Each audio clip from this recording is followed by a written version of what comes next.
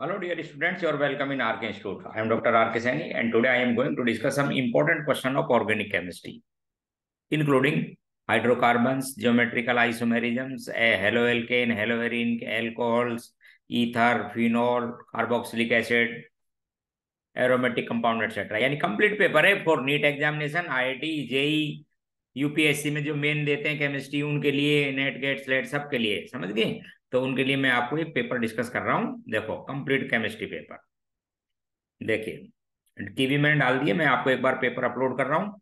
आप एक बार क्वेश्चन देखो। ठीक है पेपर अपलोड कर रहा हूँ एक बार, इसकी की भी डाल रखी है की भी आप देख लें, खुद सॉल्व करें, फिर कोई प्रॉब्लम आती है तो फिर आप सॉल्यूशन देखें इसका। ठीक है, देखिए, ये मैं आपको एक पेपर डाल रहा हूँ। ऑर्गेनिक केमिस्ट्री का है, सभी क्वेश्चन इंक्लूड किए हुए हैं इसके अंदर। डिफरेंट टाइप के क्वेश्चन हैं एरोमेटिक एलिफेटिक एलिसाइक्लिक सबके ठीक है? और मेजर क्वेश्चन देखो फोर्टी फाइव क्वेश्चन इस पेपर में। ऑब्जेक्टिव टाइप के क्वेश्चन है। मैकेनिज्म सहित मैं आपको एक्सप्लेन करूँगा। ये एक पेपर है। इसकी की भी है, वो भी मैं डाल देता हूँ। ये इस क्वेश्चनों की की है। ठीक है? और कोई इन्फॉर्मेशन चाहिए इन एग्ज़ाम से रिलेटेड तो आप मेरे को डायरेक्ट कॉन्टेक्ट कर सकते हैं। मेरा फ़ोन नंबर है। चैनल को सब्सक्राइब करें और अब देखें आप इसके अंदर। ठीक है? तो मैं आपको क्वेश्चन नंबर फ़र्स्ट पर आता हूँ। देखो। Question number first yes question first एक है the best method for the preparation of tertiary butyl methyl ether है बाय विलियमसन ईथर सिंथेसिस तो अब आप देखो विलियमसन ईथर सिंथेसिस की जो फ़र्स्ट कंडीशन है और एसेंशियल है, उसमें क्या करते हैं अपन? एल्काइल हेलाइड की रिएक्शन कराते हैं सोडियम एल्कोक्साइड से। अब ये ज़रूरी है कि ये जो फ़र्स्ट एल्काइल हेलाइड है, ये कैसा होना चाहिए? शुड भी प्राइमरी ध्यान रखना। इसको प्राइमरी होना बहुत ज़रूरी है अदरवाइज़ ये बेसिक नेचर का होता है। और जब बेसिक नेचर का होगा तो उस समय एल्कीन भी प्रोडक्ट बन सकता है। जैसे टर्सरी एल्काइल हेलाइड हो तो मेनली एल्कीन ही बनता है। सेकेंडरी में दोनों बन सकते हैं। इसलिए आपको यदि ईथर हाई यील्ड में चाहिए तो कैसा होना बहुत ज़रूरी था एल्काइल एनाइड का प्राइमरी तो इसका मतलब है कि आप इस एल्काइल ग्रुप को तो रखो प्राइमरी इसको आप न्यूक्लियोफाइल रख लो। जैसे आप क्वेश्चन नंबर देखो आप ध्यान से सी ऑप्शन को देखो इसके को। फ़र्स्ट को देखते हैं। फ़र्स्ट को देखते हैं तो टर्सरी एल्काइल हेलाइड है, इसलिए एल्कीन बनेगी। ये सेकेंडरी है, एल्काइल हेलाइड दोनों बन सकते हैं, इससे ये प्रोडक्ट भी नहीं आएगा। इसमें देखो, इससे ये जो प्रोडक्ट है, इससे देखिए, इसको रखो आप प्राइमरी शुड भी प्राइमरी और फिर न्यूक्लियोफाइल का टैग करा दो। स्ट्रॉन्ग न्यूक्लियोफाइल रखो इजीली बन जाएगा, होता तो ये भी, लेकिन स्ट्रॉन्ग न्यूक्लियोफाइल रखिए आप। ठीक है प्राइमरी एल्काइल हेलाइड में कोई फ़र्क नहीं पड़ता, इसलिए सी ऑप्शन फिर पूछा है कि which of the following order of the correct about leaving ability of this group अब आप ध्यान रखो weak base is best leaving group weak base is best leaving group तो सबसे बेस्ट तो आपके पास में लिविंग ग्रुप क्या चीज़ है? एन टू प्लस उसका रीजन है कि ये बहुत ही वीक बेस है, क्योंकि ये नाइट्रोजन किसी को इलेक्ट्रॉन देना ही नहीं चाहता, ऐसे अपने स्टेबल फॉर्म में रहना चाहता है। मोस्ट स्टेबल फॉर्म होने की वजह से नॉन पोलरिटी होने की वजह से ही नाइट्रोजन एटमोस्फेयर में सबसे ज़्यादा मिलती है सेवेंटी एट परसेंट ईयरली ठीक है? ट्रिपल बॉन्ड भी है बॉन्ड ब्रेक नहीं होता हाई बॉन्ड एंथैल्पी और ये सब बातें उसके बाद में ट्रिपलेट आयन ट्रिपलेट समझते हो? ट्राईफ्लोरो एसिटेट आयन को कहते हैं ट्रिपलेट तो ये जो ट्रिपलेट आयन है, या ट्राईफ्लोरो एसिटिक एसिड की मैं बात करता हूँ, उसका आयन बना हुआ है, देखो इधर ये.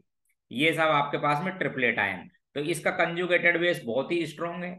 वो ऑर्गेनिक ऑर्गेनिक एसिड में सबसे स्ट्रॉन्ग एसिड है. इसलिए ये कहता हो जाएगा वीकेस्ट बेस तो जो वीक बेस होता है बेस्ट लिविंग ग्रुप और फिर लिखा हुआ है टोसाइलेट आयन टोलुइन का. वो इससे तो टोसाइलेट आयन है ये वाला देखो। टोसाइलेट आयन, यहाँ पर टोलुइन का बना हुआ है। तो सबसे स्ट्रॉन्ग तो हो गया बेस्ट लिविंग ग्रुप आपके पास में यही ऑर्डर है। फिर ट्रिपलेट और ये टोसाइलेट आयन, उसका ध्यान रखना weak base is best leaving group और वीक बेस किसको कहते हैं?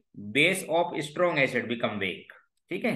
क्वेश्चन नंबर थर्ड थर्ड में एक मैच द कॉलम है, एक छोटी सी रिएक्शन दे रखे देखो आप समझो। प्रोडक्ट भी लिखे हुए हैं।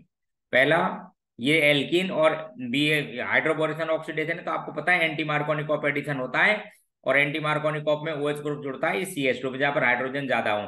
तो इसका मतलब है एंटी मार्कोनिकॉप एडिशन इसका आर हो गया फ़र्स्ट का। इसी तरह से ये एच बी और ये, कौन सी रिएक्शन हो गई? ऑक्सो मर्क्यूरेशन डीमर्क्यूरेशन ये मार्कोनिकॉप एडिशन है। तो सेकंड का क्या हो जाएगा आपके पास में? मार्कोनिकॉप एडिशन कौन सा? ये एस हो जाएगा।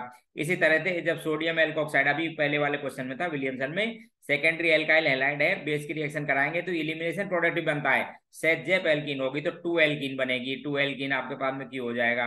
और यदि आपने ये, देखो इधर बल्कि एल्कोक्साइड आयन ले लिया, जैसे टीब्यूटॉक्साइड आयन ले लिया तो रिएक्शन कौन सी होगी? ई सी बी ई सी बी का मतलब कंजुगेटेड बेस के थ्रू होगी। एनायन के करेक्टर आएँगे, इसलिए एनायन में प्राइमरी बनाना। इसलिए कौन सा प्रोडक्ट बनेगा? फ़र्स्ट ये इसका आंसर हो गया तो इनमें से ऐसे ऑप्शन को आप सेलेक्ट कर दो। अगला क्वेश्चन देखो। क्वेश्चन नंबर था third question number four which of the following compound will not undergo acid catalysis ठीक है, अब आप ध्यान रखना, देखो एसिड कैटल ये ईथर बने हुए हैं। सबके सब क्या बने हुए हैं? ईथर यदि आपको पता है ये बात कि फिनाइल रिंग सर जुड़ा हुआ है यदि ईथर ग्रुप तो इसका एसिड कैटेलाइसिस नहीं होता क्योंकि जैसे प्रोटोनेटेड हो भी जाएगा नहीं है तो डबल बॉन्ड करेक्टर है, इसलिए ये नहीं टूटता ध्यान रखें नॉर्मल कंडीशन में। इसलिए दोनों तरफ़ फिनाइल जोड़े रखो, इसका नहीं होगा, बाकी सब हो जाएँगे, एलिसाइक्लिक भी हो जाता है, ठीक? हैज़ हायर स्टेबिलिटी आप ध्यान से देखो कि जो रिंग होती है ना तो रिंग में यदि डायरेक्ट रिंग पर कार्बन पर पॉजिटिव चार्ज हो तो स्ट्रेन की वजह से वो लेस स्टेबल होते हैं। तो स्ट्रेन कम से कम होनी चाहिए, जैसे सिक्सटी डिग्री पर तो बहुत ज़्यादा स्ट्रेन होती है, फिर नाइनटी पर, फिर इस पर तो सबसे मोस्ट स्टेबल कौन से होगा? सिक्स मेंबर वाला। Which of the following is strong base इसमें भी ध्यान रखिए। एसिड जो स्ट्रॉन्ग एसिड होगा, उसका कंजुगेटेड बेस कैसा होता है? वीक तो आपको पता है टर्मिनल एल्काइन सबसे स्ट्रॉन्ग एसिड है, फिर आपको एल्कीन है और फिर एल्केन तो एसिडिक स्ट्रेंथ सबसे कम। और जिसकी एसिडिक स्ट्रेंथ सबसे कम तो उसका कंजुगेटेड बेस कैसा होगा? Strongest base answer C question number next bromination of cyclohexene under given condition अब आप ध्यान से देखो, यहाँ फ्री रेडिकल बनते हैं। यदि एच न्यू या हाई टेम्परेचर बोल दे साहब 500 डिग्री सेंटीग्रेड तो क्या बनते हैं? फ्री रेडिकल और फिर होती है एलाइलिक सब्सटीट्यूशन ध्यान से देखिए तो एलाइलिक सब्सटीट्यूशन ये अच्छा जब आगे कुछ नहीं लिखा हो तो केवल एक बार करो, और यदि एक्सिस लिखा हो तो जितने भी एल्काइल उन सबको हटाओ, इसलिए कुछ नहीं लिख रखा तो आंसर बी यदि यहाँ पर एक्सिस लिखा होता तो मैं डी भी दे सकता था। लाइन समझ गई allylic substitution question number eight ठीक है? Which is most dehydrogenated dehydrohalogenated यानी एच एक्स का रिलेशन रिलीजन सबसे जल्दी किसमें होगा? तो आप ध्यान रखो, जब एच एक्स का रिमूवल होगा तो उस समय क्या बनेगा आपके पास में? एल्किन के करेक्टर ठीक है?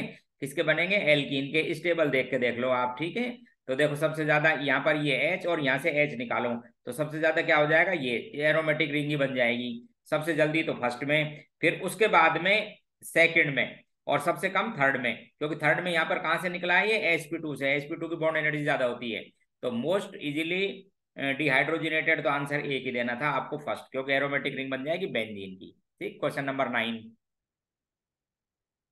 question nine देखिए।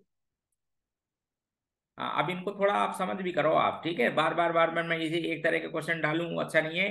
तो आप हर तरह के क्वेश्चन नए नए क्वेश्चन देखिए। जैसे क्वेश्चन है which can not be undergo E two अब आप ध्यान से देखो जो ये ई टू रिएक्शन है, ये ई टू रिएक्शन है, इसके अंदर लिविंग ग्रुप और एंटी पोजिशन से रिमूवल ऑफ़ एच ये क्या है? साइमल्टेनियसली होता है। इसका मतलब है कि बीटा कार्बन पर एच होना बहुत ज़रूरी है एंटी पोजिशन पर। जब होती है ये ई टू तो बीटा फंक्शनल ग्रुप जहाँ पर जुड़ा हुआ है, ये एल्फा ये बीटा तो यही नहीं है देखो इधर। एच ही नहीं है, कैसे होगा इसका बताओ? हाँ यहाँ पे हो सकता है ये एल्फा है बीटा यहाँ से भी ले सकते हो, यहाँ से लेना आप, समझ रहे हो? कहीं से भी। इसी तरह से ये एल्फा है बीटा तो फ़र्स्ट में नहीं हो सकता। लाइन क्लियर हो गई? ये ऑप्शन नहीं होगा ई टू रिएक्शन नहीं दे सकता, क्योंकि एल्फा बीटा एलिमिनेशन होता है नो रीअरेंजमेंट ट्रांजिशन स्टेट बनती है और एंटी पोजिशन से आता है एच बीटा कार्बन का। तो बीटा पे ही नहीं है पहले में। फिर है एल्काइल ब्रोमाइड दे रखे हैं। ये only one alkene E two one alkene E two E two का मतलब फिर वही समझ लो एल्फा बीटा एलिमिनेशन होता है और एक ही एल्किन बनेगी तो इससे दो बन सकते हैं। देखो, यहाँ से भी एल्किन बन सकती है ये वाली और ये भी बन सकती है, ठीक? इसी तरह से इसकी बात करोगे तो केवल एक ही बनेगी। देखो इधर, यहाँ से ये बी आर हट जाएगा यहाँ से एक तो ये बी ऑप्शन केवल वन यहाँ से भी दो बन सकती है ये और ये सेट जेब का अकॉर्डिंग मेजर भी बनती। है यहाँ से भी दो बन सकती है। फ़र्स्ट एंड सेकेंड क्लियर हो गया? तो केवल आपके पास में आंसर कौन सा आएगा? बी ओनली सिंगल देगा। आइडेंटिफाई ऑल पॉसिबल प्रोडक्ट अब जब पूछ रहा है ऑल पॉसिबल का मतलब चाहे कम बने, चाहे ज़्यादा, सबको इंक्लूड करना है ई टू से तो एल्फा बीटा एलिमिनेशन कराओ। ये तो हो गया था अब एल्फा मैं बीटा यहाँ से भी ले सकता हूँ तो प्रोडक्ट आपके पास में ये बन जाता।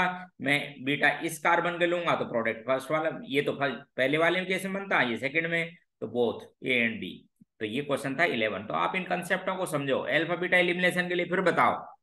लिविंग ग्रुप का रिमूवल और बीटा एच से हाइड्रोजन का रिमूवल साइमल्टेनियसली एंटी पोजिशन से होता है। इनको कहते हैं E bimolecular elimination simultaneously single step reaction है। अगला क्वेश्चन है कैन ये correct order of the order of reaction will be तो ये सब आपके पास में सोडियम की ड्राई ईथर में रिएक्शन कराइए।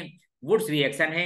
वुड्स रिएक्शन में आपको पता है हेलोजन का बॉन्ड टूटता है। बस केवल डिफरेंट टाइप के एल्काइल हेलाइड है तो कार्बन हेलोजन का बॉन्ड देखो, सबसे वीक बॉन्ड ये, सबसे मोस्ट रिएक्टिव दूसरे नंबर पर ब्रोमीन तो उसका वीक मतलब हेलोजन का बॉन्ड है ना बॉन्ड एनर्जी चेक करो। सबसे वीक बॉन्ड किसमें होगा? आयोडीन में। उसके बाद ब्रोमीन में, फिर क्लोरीन में, सबसे स्ट्रॉन्ग बॉन्ड किसमें फ्लोरीन में। ये रिएक्टिविटी ऑर्डर ये फोर्थ फिर फ़र्स्ट फिर थर्ड और सेकेंड आंसर ये लो। अब फिर देखो एक एस्टर पे रिएक्शन कराइए एच आई की तो सबसे पहले एस्टर और, और जो एल्कोहल होते हैं वो प्रोटोनेटेड हो जाते हैं। इस पर आ जाएगा पॉजिटिव चार्ज अब ध्यान रखना यदि टर्सरी एल्काइल ग्रुप लगा हुआ है तो ईवन e ईवन का मतलब कैटायन बनाओ। तो एच तो मैंने भेज दिया इसलिए ये जो कैटायन है कहाँ पे जुड़ेगा? इस कार्बन पे। तो एल्कोहल तो बनेगा आइसोटॉपिक और ये एल्काइल हेलाइड बस आंसर बी खत्म। प्राइमरी और सेकेंडरी एल्काइल ग्रुप लगे हों तो ई e और सॉरी सेकेंडरी और टर्सरी एल्काइल ग्रुप हो तो ई e टू और प्राइमरी लगा हो ईथर के संग तो ई e वन ध्यान रखें आप तो ई वन में कैटाइन बना और आंसर दो, क्योंकि आप ध्यान रखो यदि सबस्ट्रेट टर्सरी कार्बन है तो लिविंग ग्रुप अपने आप सोलवेंट में ही हट जाता है, ध्यान रखें आप। अच्छा लिविंग ग्रुप हट जाता है तो कैटाइन बनता है, फिर न्यूक्लियोफाइल कैसा? भी वो ऐड हो जाता है खत्म। क्वेश्चन नंबर नेक्स्ट फोर्टीन फिर देखो परोक्साइड अब ये जो परोक्साइड का इफ़ेक्ट नहीं होता, ध्यान रखें आप एस पर कोई परोक्साइड का इफ़ेक्ट नहीं होता है। परोक्साइड का इफ़ेक्ट किस पर होता है? ओनली एस पर। इसलिए मार्कोनिकॉप रूल के अकॉर्डिंग एडिशन करा दो। No peroxide effect on S तो मार्कोनिकॉप रूल के अकॉर्डिंग यहाँ पर आप जोड़ दोगे साहब। कौन सा? सीएल और यहाँ पर जोड़ दोगे। एच साहब first answer no peroxide effect next है B two S six hydroboration oxidation है। अब ये जो बी टू एस ड्यूटेरोबोरेन रिया आपको आपको ध्यान होगा जब ये एडिशन में साइकिलिक स्ट्रक्चर बनती है तो यहाँ पर तो आता है डी और यहाँ पर क्या आ जाता है? बी इसलिए यहाँ पर डी रहेगा सेकंड पोजीशन पर, देखो, और फिर बाद में वो ओ OH में बदल जाता है। ठीक है? तो एल्कोहल बनते समय ये जो बोरेन लिए आपने ड्यूटेरो बोरेन इसका डी कहाँ पर जोड़ोगे? सेकंड कार्बन पे, ये लो बी ऑप्शन ये आपके पास में oxymercuration demercuration Markovnikov rule का अकॉर्डिंग वाटर जुड़ता है तो मार्कोनिकॉप रूल का अकॉर्डिंग आप कैटान बना लेना पहले तो एच जोड़ के, समझ गए? कैटान बनेगा, ये फिर यहाँ, इसकी एंटी पोजिशन पे जुड़ जाता है कुल मिलाकर। ठीक है तो ओ OH वाला इस पे, ये यानी सी ऑप्शन मार्कोनिकॉप एडिशन होता है, ध्यान रखें आप। Sixteen on acid catalysis hydration of two phenyl propene मैं लिख देता हूँ टू फिनाइल प्रोपीन देखो इधर, ये प्रोपीन लिखी, इसके सेकंड पोजीशन पे क्या लगा दो आप? फिनाइल ये लो साहब, ये हो गई टू फिनाइल प्रोपीन क्या कराना है आपको? एसिड हाइड्रोलाइसिस यानी एसिड कैटलिस्ट डाल के फिर वाटर डालना है। तो एसिड कैटेलिस्ट में आपको पता है कैटायन का फॉर्मेशन होता है, सबसे मोस्ट स्टेबल कैटायन यहाँ पर तो एच जोड़ देना और यही कैटायन बनेगा, बाद में वाटर जोड़ लो यहीं पे। लाइन समझ गई? एसिड हाइड्रोलाइसिस में क्या बनेगा? कैटायन कार्बोनियम आयन की स्टेबिलिटी ये सबसे मोस्ट स्टेबल यही बनेगा। इस केस में क्योंकि कंजुगेशन में भी चला गया बॉन्ड और फिर यहीं पर क्या जोड़ दो आप? ओ एस नाम रीड कर लो। तो two phenyl propane two ol two phenyl propane two ol बन गया डी ऑप्शन क्वेश्चन सेवनटीन था। मैकेनिज्म को ध्यान रखो। आप देख, तीनों एडिशन हो गई ना एल्किन पर। इसमें एचबीओ रिएक्शन के एग्जांपल भी आ गए ऑक्सो मर्क्यूरेशन टी मर्क्यूरेशन भी आ गया सिक्सटीन देखो, और ये एसिड कैटलिस्ट भी आ गया। ये मैं कई बार दे चुका हूँ, इसलिए ये याद हो जाने चाहिए आपको। क्योंकि तो ऐसे क्वेश्चन नीट में जेई में आईटी वगैरह जो बात करते हैं नेट सेलेट सब में ऐसे क्वेश्चन आते रहते हैं। यूपीएससी के जो मेन एग्ज़ाम लेते हैं केमिस्ट्री पेपर वहाँ भी ये क्वेश्चन खूब पूछे जाते हैं। फ्रिक्वेंटली आते रहते हैं। तो ऐसी मैकेनिज्म को भूलना नहीं चाहिए। समझ गए? अगला क्वेश्चन देखो, बढ़िया क्वेश्चन क्वेश्चन नंबर एटीन देखिए। इसमें तीन, चार वो दे रखे हैं आपको डबल बॉन्ड और इसमें पूछा है which of the following structure एक दे रखे one two three geometrical isomerism is not possible अब आप ध्यान रखना, ये जो डबल बॉन्ड है ना, इसके कार्बन जो भी जुड़े हुए हैं, इन पर आइडेंटिकल एटम जोड़ोगे, जैसे यहाँ पर एच एच जोड़ दिया तो ये शो नहीं करते हैं। जैसे ये फ़र्स्ट वाला ग्रुप ही शो नहीं करेगा, देख लो आप। दो क्या जोड़ रहे हैं इसके अंदर? मिथाइल मिथाइल इसलिए ये नहीं करेगा। हाँ ये कर जाएगा, क्योंकि इस पर भी एक एच है एक बड़ा ग्रुप एक एच है। एक मिथाइल एक बड़ा ग्रुप ये ये भी जोड़ कर देगा अलग अलग है। ये भी अलग अलग कर देगा, समझ रहे हो? तो फ़र्स्ट ही शो नहीं करेगा बी ऑप्शन चेक कर लीजिए आप। Major product when substrate subjected to E two elimination अब फिर ई e टू की बात करते हैं तो कौन सी बनती है? सेजेप ये तो एल्फा और बीटा यहाँ भी हो सकता है बीटा और यहाँ भी। तो आप यहाँ से लेना, जिससे क्या है? कंजुगेशन में सेजेप रूल का according more stable more stable conjugation वाली। ठीक? Question number twenty question twenty दिखाता हूँ, देखो। बढ़िया क्वेश्चन है। ये सब बातें आपको पता होनी चाहिए। इसमें क्या है? इलिमिनेशन रिएक्शन ही पूछिए। Under treatment of potassium T butoxide अब टर्सरी ब्यूटोक्साइड है ना? फिर एक बार देख लो। ये रहा था टर्सरी ब्यूटोक्साइड ये रहा। अब ये टर्सरी ब्यूटोक्साइड क्या है? बल्कि न्यूक्लियोफाइल है। इसलिए बल्कि जो आपके पास में ग्रुप होते हैं, वो स्ट्रॉन्ग बेस होते हैं। बहुत ही कैसा है? स्ट्रॉन्ग बेस इसलिए जब ये डाला जाता है तो मैकेनिज्म इवन सीबी होती है। इवन सीबी का मतलब कि unimolecular via conjugated base conjugated base का मतलब है कि जो एल्फा एच सबसे पहले जो बीटा एच है, वो बाहर निकल जाता है। उसके बाद में लिविंग ग्रुप बाहर निकलता है। इसलिए एनाइन के करेक्टर आते हैं तो सबसे पहले क्या करना, इसके एच को निकालना आप। तो एच इसके यहाँ से निकल सकता है। देखो जहाँ पर फ़ंक्शन ग्रुप जुड़ा हुआ एल्फा एक तो एच यहाँ से निकलता तो ये एनाइन बनता। एक एनाइन ये बन सकता था, एक एनाइन ये ये टर्सरी बिल्कुल मत बनाओ। ये सेकेंडरी कम स्टेबल होता है और प्राइमरी मोस्ट स्टेबल होता है, इसलिए यहीं से निकाल दो और आंसर फ़र्स्ट कोई चेक कर दो। देखो, वापस। हॉपमान इलिमिनेशन है हॉपमान एल्किन बनेगी। हॉपमान क्या होती है? लेस स्टेबल एल्किन बनती है via conjugated base E one C reaction का नाम था।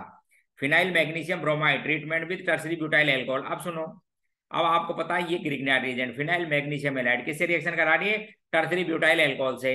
अब जिसके अंदर एक्टिव एच होता है एच है इसके अंदर, वो क्या बना लेगा? एल्केन तो बन जाएगी आपके पास एल्केन या हाइड्रोकार्बन तो बेंजीन बन जाएगी B option question number next twenty two para hydroxy para hydroxy benzoic acid ये रहा। लिखा हुआ था पैरा हाइड्रोक्सी बेंजोइक एसिड ठीक है? Has a low boiling point, then ortho hydroxy benzoic acid अब अब समझो आप इसको। और तो हाइड्रोक्सी बेंजोइक एसिड से कम है, बोल रहा है ये स्टेटमेंट जबकि गलत है ये। ये सेंटेंस क्या गलत? किसका बॉइलिंग पॉइंट कम होता है? ऑर्थो का। क्योंकि कैसा हो जाता है यहाँ पर? इंट्रामोलिकुलर हाइड्रोजन बॉन्डिंग और यहाँ पर होता है इंटर और जिसमें इंटर होता है तो मॉलिक्यूल का एसोसिएशन हाई और मॉलिक्यूल का एसोसिएशन हाई तो वॉलिटिलिटी कम और बॉइलिंग पॉइंट भी हाई इसलिए सेंटेंस फ़र्स्ट गलत है। ऐसे बोलना चाहिए था parahydroxy benzoic acid has a lower नहीं हायर बॉइलिंग पॉइंट दिस, ठीक है? तो ये तो स्टेटमेंट हो गया गलत। दूसरा ortho hydroxy benzoic acid has intramolecular hydrogen bonding ये सही है साहब, ठीक है? इसलिए आंसर पहला गलत और दूसरा, यानी बी डी ऑप्शन देंगे D question methanol can be distinguish from the ethanol देखो मीथेनॉल और इथेनॉल को कैसे डिफ्रेंशिएटेड किया जाता है, अब आप समझ लो। तो पहली बात, जैसे पहला पूछा है कि heating with I two and alkali तो कौन सी रिएक्शन हो गई? है हेलोफॉर्म कौन देते हैं? इथेनॉल दे देते हैं। समझ गए एल्कोहल जो ऑक्सीडाइज होकर एसिटाइल ग्रुप लाते हो, वो दे देते हैं। यानी आप इससे अलग कर सकते हो, ये तो देगा नहीं। बियर एजेंट से किसी के भी रिएक्शन कोई नहीं होती। ट्रीटमेंट ऑफ़ क्रोमिक एसिड और डायलूट फॉर ऑक्सीडेशन कराते हो दोनों का।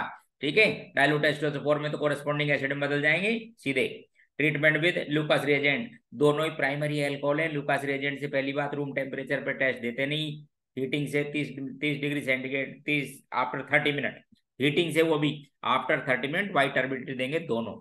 इसलिए फ़र्स्ट आंसर इसका बेटर समझ गए? क्या नाम था? रिएक्शन का? आयोडोफॉर्म या haloform reaction question number twenty बढ़िया क्वेश्चन ध्यान से देखो इसको।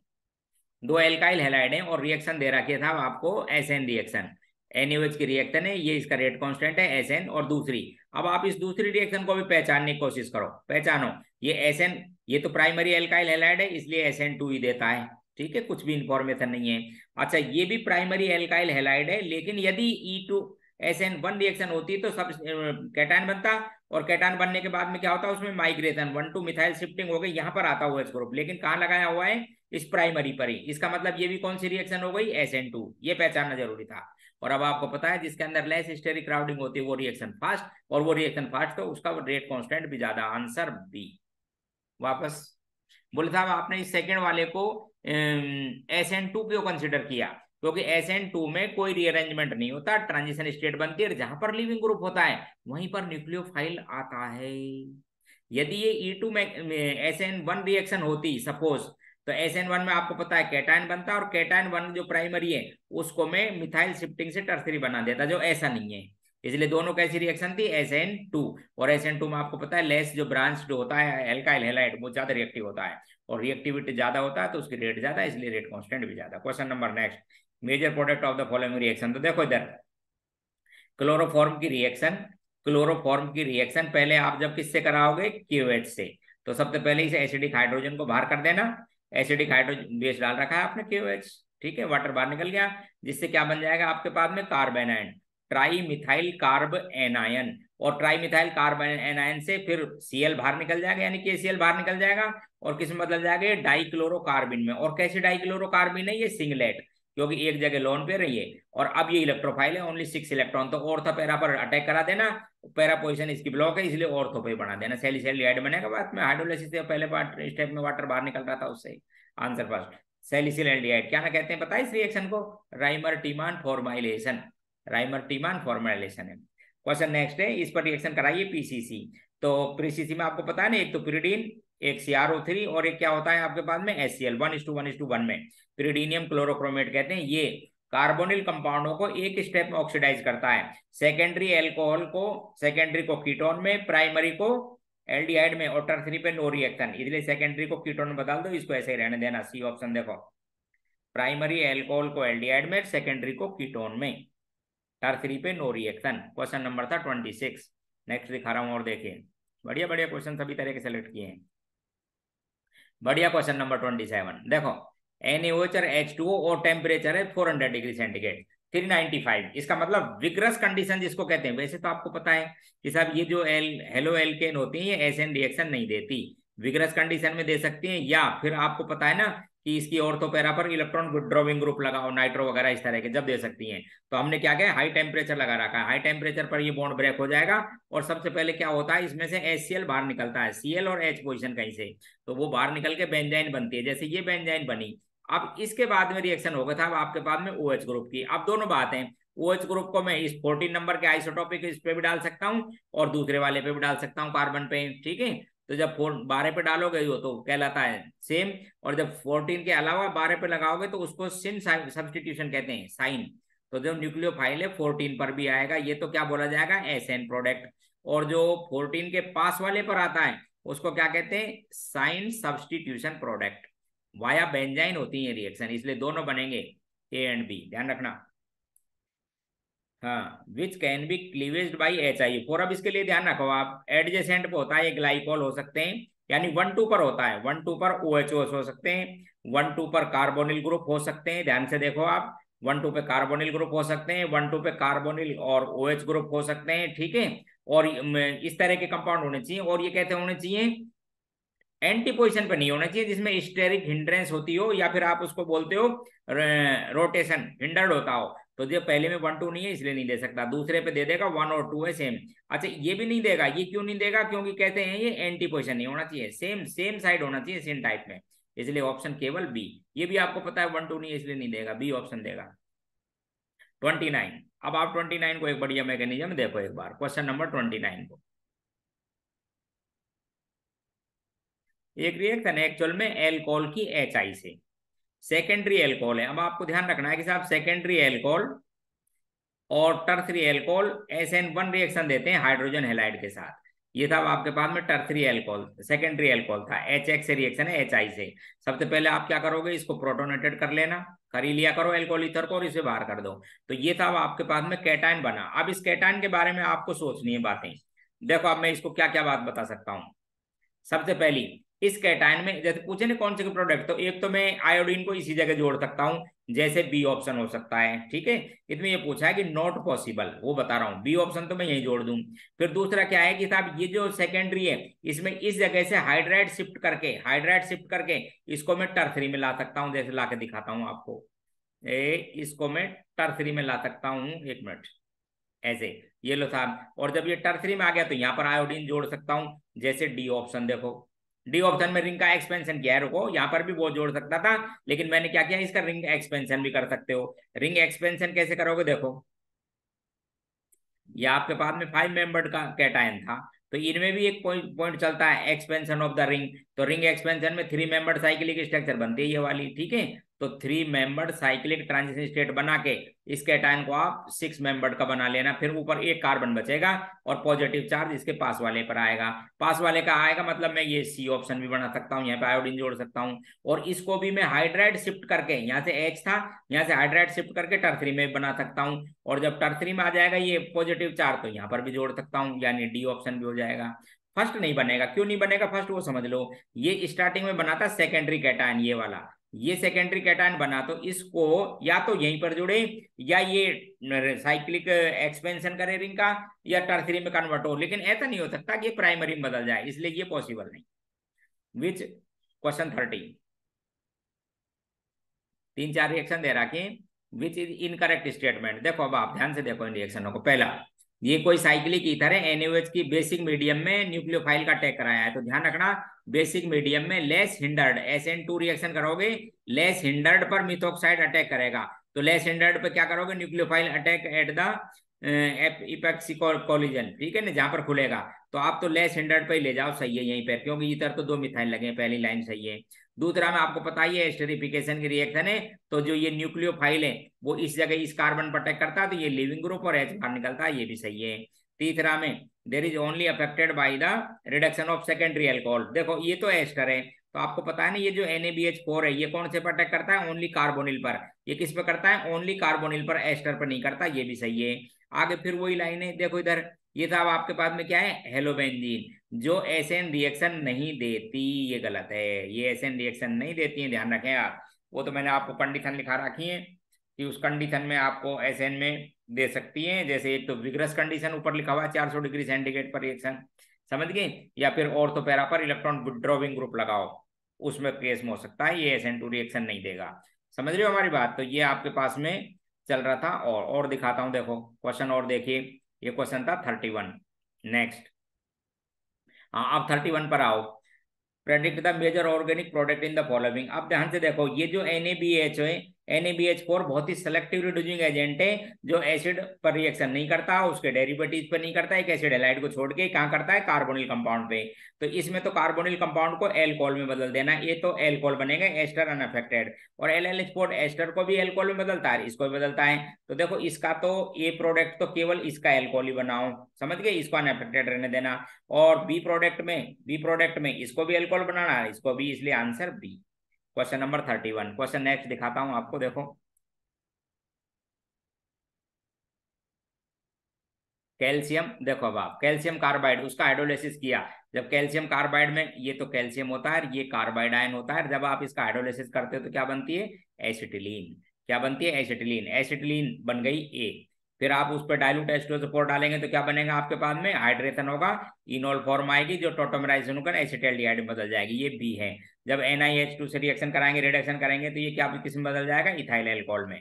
तो ये बन गया था अब आपके पास में इथाइल एल्कोहल कौन सा प्रोडक्ट इथाइल एल्कोहल सी इसी के बारे में तीन चार लाइन बोझी है। इनकरेक्ट पूछा है पहली बात तो।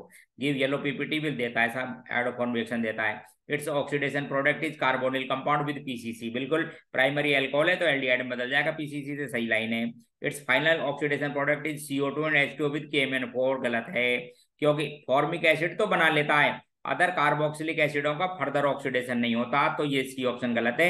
डी सही है final oxidation product acidic acid with acidic केमिनोफोर सही। Question next thirty three which of the following reaction is not possible देखो अब आप इस रिएक्शन को फिर देखिए।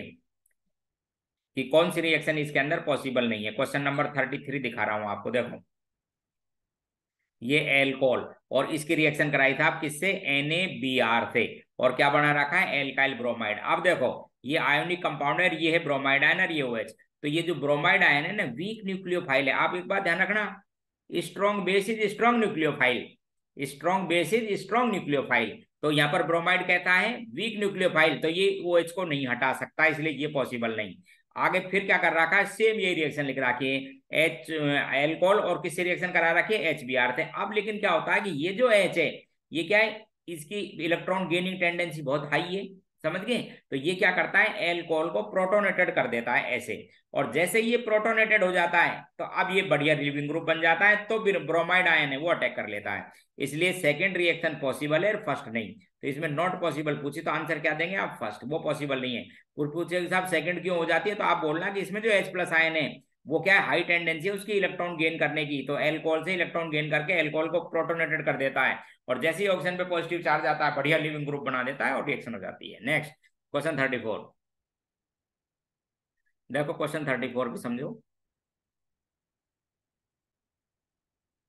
हाँ एक एल्कोहल और लुकास रिएजेंट है कंसेंट्रेट एससीएल एससीएल और एनहाइड्रस जेड तो क्या कहते हैं आप इसको? लुकास रिएजेंट और व्हाइट टर्बिडिटी आई है। इसका मतलब व्हाइट टर्बिडिटी के लिए आपको टेस्ट पता है ना टर्थरी एल्कोहल इमीडिएटली देते हैं सेकेंडरी देते हैं पाँच मिनट बाद प्राइमरी रूम टेम्परेचर पर देते नहीं है हीटिंग से देते हैं आफ्टर थर्टी मिनट इसका मतलब है व्हाइट टर्बिडिटी आई है तो ये टर्थरी एल्कोहल होगा इमीडिएटली आप पूछा इसमें अंदर इनकरेक्ट तो पहला देखो, पढ़ता हूँ। Alcohol behave like as a base in this reaction बिल्कुल। क्योंकि ये H प्लस देगा और H प्लस को जो गेन करते हैं, आपको पता है प्रोटोनेटेड होगा, जो H प्लस को बेस गेन करते हैं वो base according to Bronsted and Lowry concept पहला स्टेटमेंट सही है?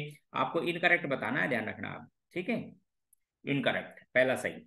दूसरा था इसका B option greater value of P K alcohol की वैल्यू पी के की वैल्यू ज़्यादा, इसका मतलब के की वैल्यू क्या हो जाएगी उसके अंदर कम, और के की वैल्यू कम हो जाएगी तो इसका मतलब क्या हो जाएगा? वीक एसिड तो टर्सरी एल्कोहल वीक एसिड होते हैं।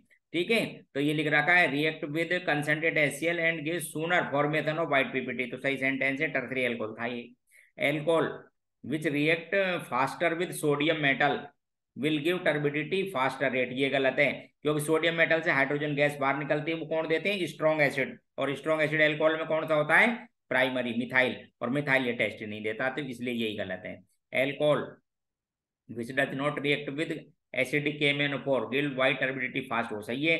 तो टर्सरी एल्कोहल ऑक्सीडाइज नहीं होते साहब केमेनोफोर दे नॉर्मल कंडीशन पर। क्लियर तो ऐसे आप इसको सेलेक्ट करेंगे। क्वेश्चन नंबर थर्टी फाइव दिखा रहा हूँ, देखो। Question next thirty five simple C reaction है। Diethyl ether react with PCl five तो ये साहब डाई इथाइल ईथर है।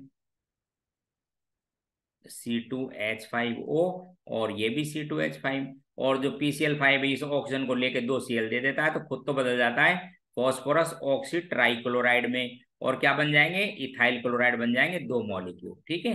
तो पहला इथाइल क्लोराइड बनेगा और फॉस्फोरस ऑक्सी ट्राइक्लोराइड बनेगा, दोनों बनेंगे ए एंड बी फिर रिएक्शन है कि था फिनोल की एनएच से रिएक्शन कराई ए बना।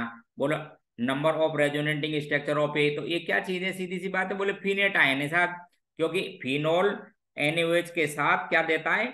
एच प्लस आयन दे जाएगा, उनको बेस एसिड बेस रिएक्शन और क्या बनेगा? फिनेट आयन कितनी रेजोनेटिंग स्ट्रक्चर बनेगी? सिक्स इसको भी काउंट करना। इस पाई बॉन्ड को घुमाते रहना ऐसे ठीक है? ऐसे फिर इसको, ठीक है? इस तरह से डिलोकलाइज करते जाओ, बाद में अपना आप यही आ जाएगी। तो कुल मिलाकर दो तो बनते हैं क्या बोलते हैं उनको? कैकुलर स्ट्रक्चर और तीन इसकी और रेजोनेटिंग बनेगी। टोटल कितनी स्ट्रक्चर बनेगी? Five which is most acidic अब अब देखो, ये क्वेश्चन में देता रहता हूँ, बार बार आप समझो इनको। Question thirty six. Carbonic acid अब बताओ कार्बोनिक एसिड किसको कहते हैं? H2CO3 को कहते हैं दोस्तों, कार्बोनिक एसिड। और कार्बोलिक कार्बोलिक किसको कहते हैं? फिनोल को। ठीक है, ये कार्बोनिक फिनोल का नाम, ये फिनोल, और ये हाइड्रोक्सी बेंजीन भी फिनोल। और इनमें कौन सा ज़्यादा स्ट्रेंगर होता है? कार्बोनिक एसिड H2CO3 इसीलिए फिनोल, याद दिला देता हूँ, इसीलिए फिनोल, सोडियम बाई कार्बोनेट के साथ ब्रिक्स एफरवेसेंस, किसके होते हैं? वो CO2 का नहीं देता है। क्योंकि कार्बोनिक एसिड, स्ट्रॉन्ग एसिड है, बजाय कार्बोलिक से। कार्बोलिक किसका नाम है? फिनोल का। गलती मत कर देना, बस नाम देखा करो। ठीक है, याद भी किया करो। ये दे रखे चार एल्कोहल इसके अंदर ring substitution from the following compound बोलो किसमें फास्ट होगी? तो आप एक्टिवेटर चेक करो, सबसे पहले इसमें एक्टिवेटर है। इसके अंदर एक्टिवेटर भी है और डीएक्टिवेटर भी है। तो पहले, सबसे पहले फास्ट फिर ये, फिर उसके बाद में ये डीएक्टिवेटर और सबसे स्ट्रॉन्ग डीएक्टिवेटर समझ गए? तो ये ऑर्डर सबसे पहले फ़र्स्ट में करना, फिर थर्ड में फिर सेकंड में फोर्थ में C option question thirty nine major product found by the monobromination of phenyl benzoate पहले तो फिनाइल बेंजोएट लिखो। ये तो साहब बेंजोएट आयन हो गया। ये लो। और इसके क्या लगाओ? फिनाइल ये लो। ये फिनाइल बेंजोएट है। तो जब मोनोब्रोमिनेशन करेंगे तो एक्टिवेटेड रिंग ये प्लस एम इफ़ेक्ट है इधर देखो। और ये कौन सा है? माइनस एम तो ये तो डीएक्टिवेटर रिंग है। यहाँ नहीं लेकर आना है आपको। इस पे ले जाना है।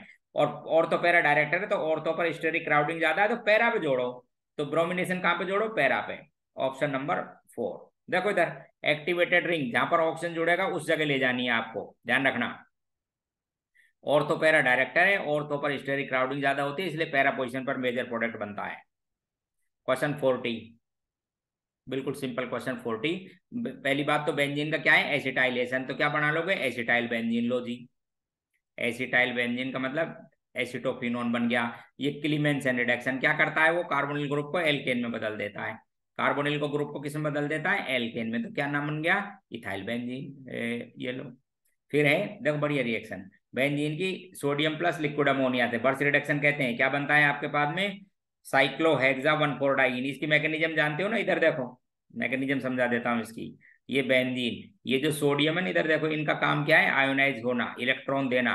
तो इस पे जैसे ही इलेक्ट्रॉन आता है ना इधर देखो तो पाई बॉन्ड को डिलोकलाइज कर देना इलेक्ट्रॉन तो यहाँ पर आ जाएगा पॉजिटिव चार्ज ये इलेक्ट्रॉन, और एक बॉन्ड को और करो तो अपोजिट डायरेक्शन में जोड़ो इसको ऐसे, देखो इधर।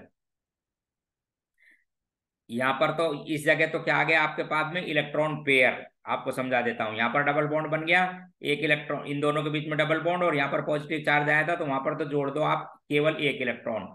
और इसके एंटी पर जोड़ दो, आप दो इलेक्ट्रॉन और इस पर आ जाएगा नेगेटिव चार्ज ठीक है? फिर क्या करना? अमोनिया से एक्टिव एच दे देना इस जगह। तो अमोनिया से एक्टिव एच दे देंगे तो साहब यहाँ पर जुड़ जाएँगे, आपके पास में एच और ये रहेगा ओड इलेक्ट्रॉन ठीक है? एच और सोडामाइड निकल के बाहर, क्योंकि एच निकलने के बाद में अमाइड बदल जाता है सोडामाइड फिर क्या करना? सोडियम से वापस, एक बार वापस ऑक्सीडेशन करना, एक इलेक्ट्रॉन आएगा, फिर इस इलेक्ट्रॉन को फिर एनाइन बदल लेना, फिर अमोनिया से रिएक्शन करा के एच यहाँ जोड़ देना एक। तो आपके पास में one four cyclo one four hexa diene बन जाएगी। डी ऑप्शन क्या कहते हैं? इसको पता है क्या? Birch reduction. It is known as Birch reduction. इसको टर्मिनल एल्काइन भी देती हैं एक बात, और ठीक है बर्थ रिडक्शन को। एल्काइन भी देती है नॉन टर्मिनल एल्काइन टर्मिनल नहीं नॉन टर्मिनल एल्काइन देती है ट्रांस प्रोडक्ट बनता है, और एक ये बेंजीन वगैरह, ठीक है? एनर्जी प्रोफ़ाइल डायग्राम देखो पहले तो कैसा एल्काइल हेलाइड है? प्राइमरी कौन सी रिएक्शन होंगी साहब? एस एन टू एक स्टेप में तो ये सभी एक स्टेप की है। अब क्वेश्चन ये कि साहब, ये एक्जोथर्मिक एंडोथर्मिक ये समझना था। अब देखो क्या हुआ। अब आप इन चीज़ों को कोई वहाँ एग्ज़ाम में बताने का नहीं, आपको सब बातें ध्यान रखनी है। तो देखो हुआ क्या इस रिएक्शन में।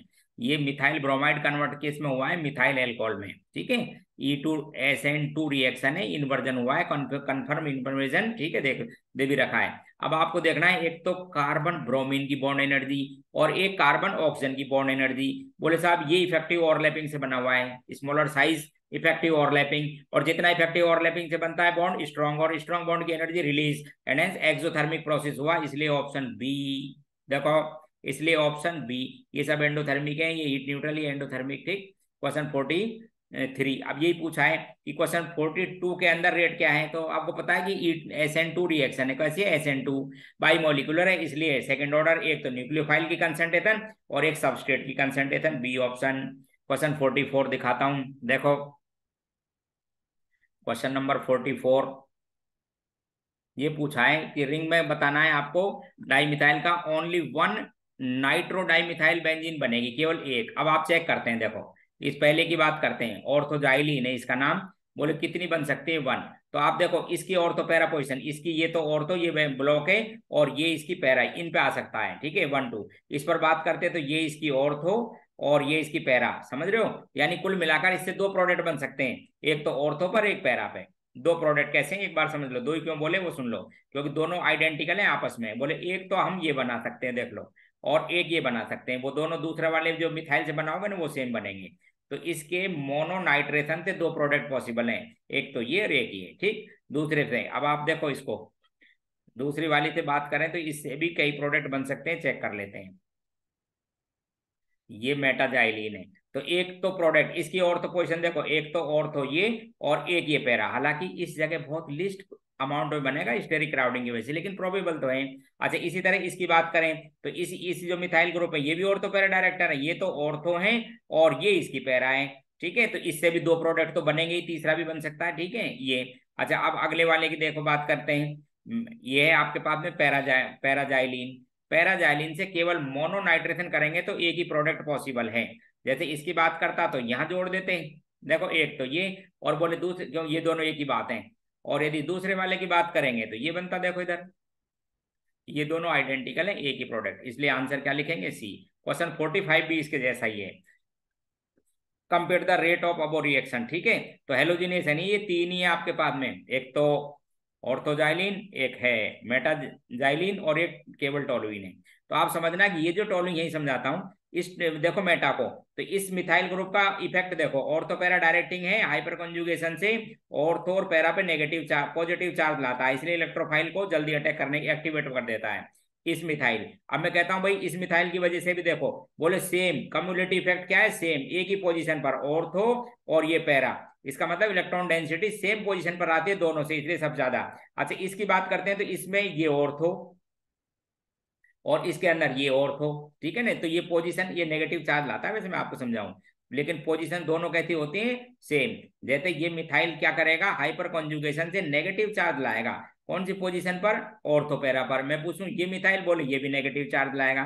किस पर? ऑर्थो और पैरा पर, ठीक है? इसकी भी ऑर्थो पैरा यही है। अच्छा ये भी नेगेटिव चार्ज लाएगा किस पर? ऑर्थो और पैरा पर पैरा ब्लॉक है। ये भी नेगेटिव ऑर्थो और पैरा पर, इसकी ऐसे अच्छा इसमें आपको पता है, एक ही ग्रुप है, इसलिए ऑर्थो पैरा डायरेक्टिंग वो भी नेगेटिव तो सबसे फास्ट रिएक्शन तो कराना आप इसमें, जिनमें दोनों का इफ़ेक्ट सेम पोजिशन पर। यानी आर टू जो लिख रखा ना ये सेकंड वाले की रेट आर टू है इसका नाम, ये तो सबसे ज़्यादा ये रही। समझ गए?